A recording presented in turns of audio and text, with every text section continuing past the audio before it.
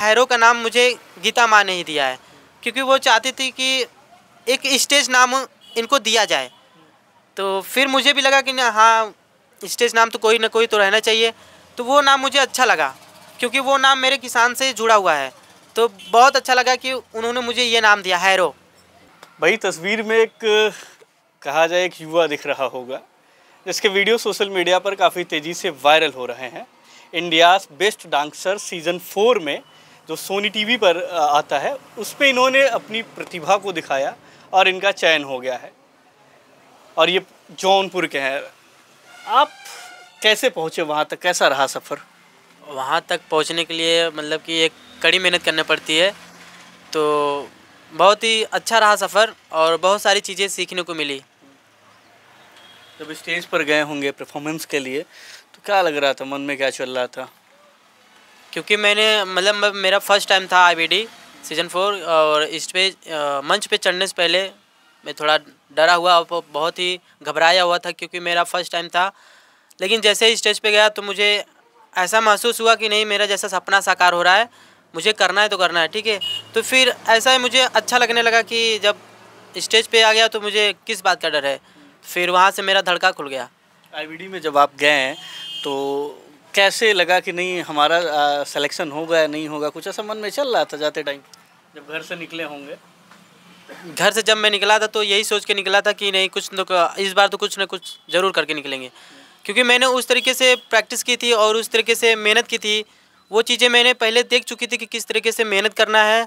और मैं जब भी मेहनत करता था मतलब जब भी प्रैक्टिस करता था तो उस वक्त मेरे डांस पार्टनर जो है मतलब अजित भाई एक बड़े भाई की तरह मुझे हमेशा वो चीज़ें बताते थे जो मुझमें कमियाँ थी। वो चीज़ बताते कि हाँ तुझ में ये कमियाँ है, वो तू कर। तो फिर मैं उनकी बातें हमेशा मानता हूँ और उन्होंने मुझे बहुत समझाया कि तू ऐसा प्रैक्टिस करेगा तो आगे ज़रूर बढ़ेगा। तो फिर उनकी बातों को और ख़ुद के ऊपर विश्वास था कि नहीं, जब कोई सपोर्ट कर रहा है तो फिर क्यों ना अपने ऊपर विश्वास करके आगे बढ़ते चले। डांस में आपकी कब से शुरुआत हुई थी? कब से आप इसकी ट्रेनिंग वगैरह ले रहे हैं, सीख रहे हैं? डांस मैंने 2020 से ही करना स्टार्ट किया था जो मैं ट्रेनिंग मेरे गुरु जी थे मिस्टर मोहम्मद सदाब सर। तो उनके ही क्लास से मैं अपनी मेरी जर्नी जो थी वहाँ से शुरू हो गई थी। कहा जाए चार सालों में सफलता की सीढ़ी चढ़ना स्टार्ट हाँ, और सबसे बड़ी बात तो मैंने जब खुद को खुद के डांस को मतलब कि कहीं प्रेजेंट करने की सोचा तो मैंने एक मतलब लेटर पैड होता है ना तो उस पर लिख दिया था कि नहीं मुझे दो हज़ार पच्चीस तक किसी भी रियलिटी शो में जाना ही जाना है। तो लेकिन भगवान का बहुत बहुत लाख शुक्र है कि मैं 2024 में किसी आईबीडी सीज़न फोर में वो भी रियलिटी शो जो मैं हर हर एक हर एक का सपना होता है। और मैं चौबीस में ही गया तो इस बात की मुझे बहुत ही खुशी है कि जो एक साल मतलब बहुत ही जल्दी हो गया तो बस खुशी ही खुशी है। एक बार आप रियलिटी शो में जाते हैं वहाँ पर जो गार्ड रहते हैं वो आपको रोक देते हैं नहीं जाने देते हैं। तो फिर खुद को बुरा लगता है लेकिन उस काबिल तो हमें होना ही चाहिए ना। क्योंकि उस वक्त हम उस काबिल तो नहीं थे। तो मुझे लगा कि नहीं, मुझे और मेहनत करना है। तो फिर खुद को प्रेपर करके अच्छा मेहनत करके मेरे गुरुजी ने अच्छे से मुझे गाइड किया और मेरे मतलब कि जो, जितने भी डांस पार्टनर है, आयुष भाई है, सभी ने मुझे अच्छे से गाइड किया और मैं मेहनत करता गया। और फिर डांस में तो वैसे भी बहुत ज़्यादा मेहनत लगता है। मैंने दिन रात करके मेहनत किया है। तो फिर मुझे खुद के ऊपर विश्वास था, नहीं, कभी ना कभी तो हम आगे बढ़ेंगे ही। तो बस खुद के ऊपर विश्वास था। अच्छा डांस के अलावा आप क्या करते हैं? कैसे खर्च पर चलता है? डांस के अलावा क्योंकि मैं खेतों में हम लोग काम करते हैं। जैसे दूसरे के खेतों में मजदूरी का काम होता है क्योंकि कोई बुला लेता है तो उसके घर खेतों में हम लोग जाके काम कर देते हैं। और मेरी माँ ये काफ़ी सालों से करती चली आ रही है क्योंकि हमारे गाँव में बहुत सारे लोग हैं जो अपने खेतों में काम करने के लिए बुलाते हैं। तो माँ के साथ मैं भी चला जाता हूँ। क्योंकि डांस के अलावा मेरे पास कोई काम नहीं था और जॉब भी नहीं था तो मुझे अपने माँ के साथ काम करना ही पड़ा। लखन जी का आज है बहुत संघर्ष रहा होगा क्योंकि डांस में भाई डांस क्लासेस में पैसे लगाना फिर एक तरफ़ जहाँ आप मजदूरी करते तो कैसे कैसे उन सारी चीज़ों को झेला आपने? पहली बात तो मैं जहाँ भी डांस सीखता हूँ वहाँ पे बहुत बहुत धन्यवाद देता हूँ मैं अपने सर गुरु जी को आदरणीय गुरु जी को कि मुझे मुझसे अभी तक एक रुपये नहीं मांगे हैं। और इसी बात को मतलब कि मुझे महसूस होता था कि मुझे इसका गलत फ़ायदा नहीं उठाना चाहिए। जब मुझे फ्री में मिल रहा है तो मैं उसको अच्छे जी, जान से सीखूँगा। बस वही सोच के मैं आगे बढ़ता चला गया, क्योंकि मुझे मेहनत करना, क्योंकि जो चीज़ मुझे और पैसे भी नहीं थे ना तो फिर जब पैसे लगा के कोई सीखता है तो फिर वो चीज़ें अलग होती हैं। और वो चीज़ मुझे फ्री में मिल रही थी तो मैं उसका पूरा फ़ायदा उठाना चाहता था। इस वजह से मुझे अच्छा विश्वास था? मन में था एकदम संकल्प कि नहीं हम आज नहीं कल कामयाब होंगे। वो मन में होता है ना कि आ, कि आप मेहनत करते जाइए कभी ना कभी आपको फल मिलेगा। बस वही था। जब आप स्टेज पर पहुँच पहुँचते हैं अपना नाम बताते हैं उस वक्त की क्या बातचीत थी? ज़रा दर्शकों को हमारे बताएँ आप। उस वक्त जो मतलब स्टेज पे जो हम जाने के बाद जब गए तो सामने गीता माँ जब बैठी थी उन्होंने जब पहला वर्ड मुझसे पूछा तो मैं थोड़ा सामा हुआ था कि मैं उनको क्या ही बोलूँगा।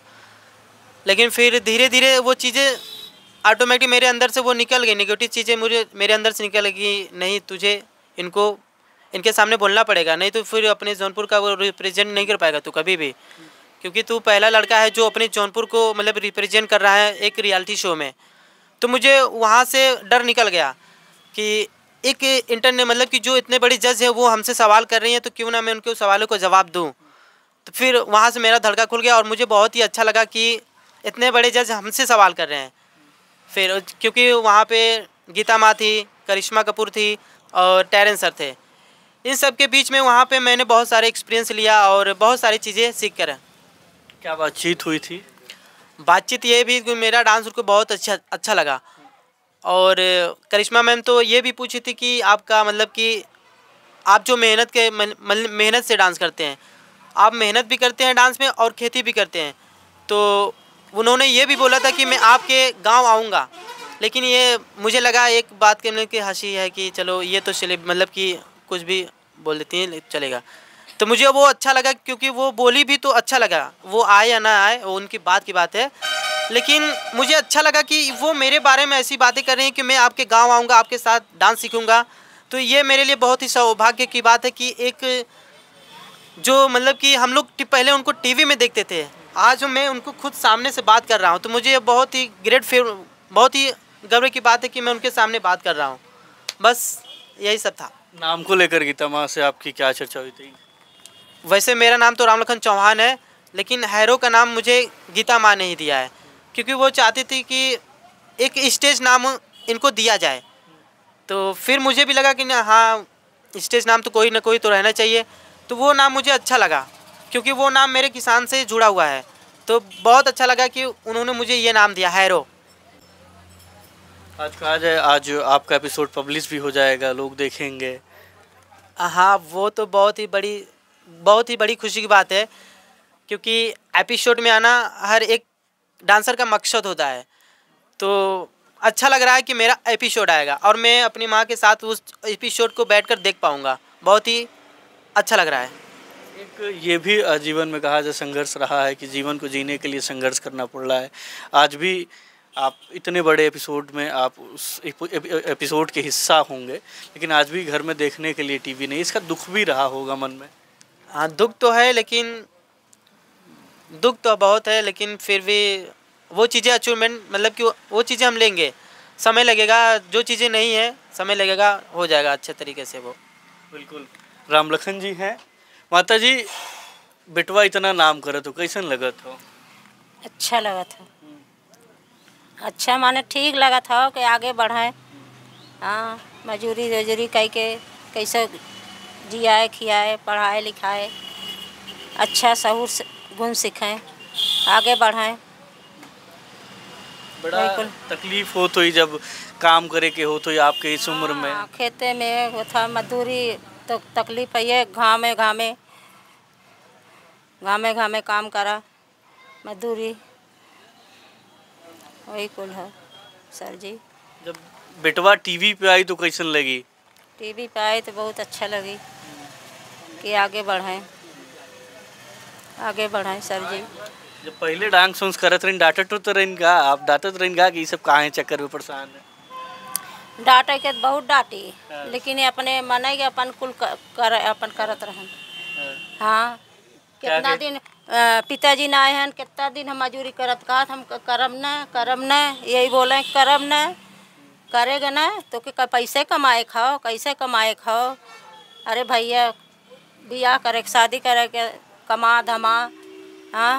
अब एक खे और लड़की शादी करे खो क्या डांटती थी भैया आपको माता जी मतलब हम दिन भर डांस ही करते थे ना तो मम्मी को लगता था कि पैसा नहीं आ रहा है घर में ना। तो उस चीज़ को उनको बहुत मतलब दुख था कि जब एक पैसा नहीं आ रहा तो किस लिए डांस कर रहे हो? तो मैं उनको बहुत समझाता था कि चल माई आज ना तो कल पैसा तो अबे करी। तो फिर ये भी मतलब कि था इनको भी विश्वास था कि जब ये जहाँ भी जाता है मतलब कि कुछ ना कुछ लाता है तो आगे ये बढ़ेगा ज़रूर। तो इस चीज़ को मैं मुझे कभी भी ये रोक टोक कभी नहीं की, क्योंकि मैं सबसे ज़्यादा सपोर्ट तो मेरे घर वाले हैं, क्योंकि मुझे डांस करने में वो कभी रोके टोक नहीं है, कभी भी रोके टोके नहीं, कि तू क्या कर रहा है, इतना समय हो गया है, चल अभी काम कर, पैसा ला, वो कर, लेकिन ये सब कुछ भी नहीं था। सिर्फ़ मेरी माँ को था कि घर में पैसा आना चाहिए, किसी भी तरह। तो मुझे भी विश्वास था कि नहीं, अगर मैं अभी अभी पैसा नहीं आ रहा तो कभी ना कभी तो डांस के ज़रिए मैं पैसा अपने माँ को ला के दूँगा बिल्कुल देखिए राम लखन ने मेहनत की और संघर्ष किया जिसकी बदौलत आज जो है इतने बड़े मंच पर है। दो लोगों, दो शख्सियत की आपको तस्वीर दिख रही होगी। सलमान जी हैं और और उनके शिष्य कहा जाए, जिन्होंने सादाब जी, जिन्होंने तहलका मचाया। सलमान जी कहा जाए, आपने एक जो शुरुआत की थी, या एक पेड़ लगाया जो था, अब वो फल देना स्टार्ट हो गया है। धन्यवाद आपको सबसे पहले और जो मेरा 20 सालों का सपना था, वो जाके आज सफल हुआ है और एक जो पेड़ हमने लगाया था, आज एक शानदार फल दिया, इतना बड़ा फल दिया कि जौनपुर का पहला ऐसा बंदा है जो रियलिटी शो में, डांसिंग शो में वो परफॉर्म कर रहा है, जौनपुर को रिप्रेजेंट कर रहा है और हमारे शिष्य सादाब का शिष्य राम लखन। और हम लोग के टाइम पे ना सोशल मीडिया का दौर था, ना ही इतना सपोर्ट मिलता था जो आज के दौर में है। तो वो चीज़ें जो चीज़ हम लोग नहीं कर पाए तो हमारे अपने शिष्य हमारे अपने छोटे भाई करके दिखा रहे हैं और जौनपुर के लिए बहुत प्राउड का मोमेंट है। राज जी। एक बड़ी बात आई कि भाई पैसे तक नहीं लेते थे। हाँ जी हमारा फ़ीस कहा जाए जो फ़ीस ये कि ना हमने सदाब से लिया ना सदाब ने राम लखन से लिया। और ऐसे बहुत से बच्चे हैं जो आज टीवी टीवी पर भले ही नहीं आए मुझे लगता है कि चार पाँच सात सौ बच्चे जौनपुर के ऐसे हैं, जो हमसे डांस सीख के एक्टिंग सीख के एंकरिंग के क्षेत्र में अपना अपना अर्न कर रहे हैं, पैसा कमा रहे हैं और अपना मतलब सिस्टम सही चला रहे हैं। बहुत हाई फाई नहीं तो बहुत लो भी नहीं तो बहुत से ऐसे बच्चे हैं। लेकिन ये मोमेंट ऐसा कि टी वी आ जाना रियलिटी शो में आ जाना तो अपने आप में जो मतलब बीस सालों का सपना था जैसे लग रहा पूरा और अब बहुत खुशी मिल रही है राज जी। और मैं, मेरा प्रयास है जैसे राज राम लखन जी बहुत गरीब परिवार से हैं तो हम लोग इनके लिए हम और शादाब मिलके इंस्टीट्यूट यहाँ पर ओपन करेंगे। यूपी लेवल तक में जो भी हमारी पहचान अच्छे लोगों से, सामाजिक लोगों से, इनके लिए बेहतर कराने का प्रयास करेंगे। और ये भी प्रयास करेंगे कि इनके घर में टीवी नहीं है, इनकी माता की आँखों में आँसू भी मैंने देखा। तो सबसे पहला काम करेंगे कि हम अपने सहयोगियों से, क्योंकि मैं चैरिटी इवेंट भी करता हूँ तो लोगों से सपोर्ट लेके तमाम लोगों की सहायता करने का प्रयास भी करता हूँ। उस सहायता में एक प्रयास ये भी है कि इस टैलेंटेड बच्चे को, इस बच्चे को एक पहले टीवी हम दिलवाएँ, जल्द से जल्द। हमारा ये भी प्रयास है। बिल्कुल, सलमान जी, निश्चित तौर पर देखिए, प्रतिभा को जो प्रतिभा है, उसके लिए सादाब जी ने बहुत मेहनत की। सादाब जी, जब कोई स्टूडेंट आता होगा तो कहा जाए उसकी ज़ीरो से शुरुआत होगी और जो कामयाब हो गया। कैसा लग रहा है गुरु को? हाँ मुझे तो बहुत अच्छा लग रहा है। बट जैसा लखन ने कहा कि हम लोग मुंबई गए थे रियलिटी शो से हम लोग को बाहर कर दिया गया था। ठीक कहा हम लोगों ने एक रियलिटी शो में एंटर किया था। एज अ ऑडियंस देखने के लिए कि रियलिटी शो कैसा होता है। तो वहाँ पे हम लोग को गार्ड ने बाहर कर दिया था। तो इसने बो, इस बोला, सर, आप रहने दीजिए। हम इतना मेहनत करेंगे कि एक दिन ऐसा दिन आएगा कि हम आपको स्टेज, उसी स्टेज पे खड़ा करेंगे। आज वो पल आया है कि हम देख के इतना मतलब खुशी मिल रही है हमको कि क्या ही बताएँ। जी। जिस मंच से, सॉरी, मैं बीच में बोल रहा हूँ, जिस मंच से धक्का मारा गया, उसी मंच से उस शिष्य ने साबित किया कि यार, प्रतिभा है तो कुछ भी हो सकता है, तुम्हारी तुम्हारी हिम्मत नहीं है फिर धक्का मारने की। तुम इज़्ज़त दोगे बुला के। वही इज़्ज़त जौनपुर के इस बच्चे को मिला। लग रहा है कि जौनपुर का झंडा गड़ेगा और राम लखन बिल्कुल। राम लखन ने वो कर दिखाया कि हम लोग का सीना तो बहुत फूल रहा है खुशी के मारे। और जब ये टीवी पे आज शाम को आएगा तो जौनपुर के लोग देखेंगे, पूरे देश के लोग देखेंगे, कहेंगे, अरे वाह, जौनपुर का लड़का जिसको गीता माँ ने टेरेंस लुइस ने, करिश्मा कपूर जी ने मतलब कॉम्प्लीमेंट दिया। मतलब बहुत बड़ी बात है। उनसे मिलने के लिए लोग लाखों रुपए खर्च करते हैं। और एक गरीब परिवार का बच्चा केवल और केवल अपनी प्रतिभा के दम पे गया है तो वो चीज़ें, वो मतलब मोमेंट मैं क्या ही बताऊँ। बिल्कुल सर, धन्यवाद हमसे जुड़ने के लिए। निश्चित तौर पर I V D seven four में जौनपुर का लाल राम लखन जो है, तहलका मचाएगा। आप भी उस एपिसोड को देखना नहीं भूलिएगा।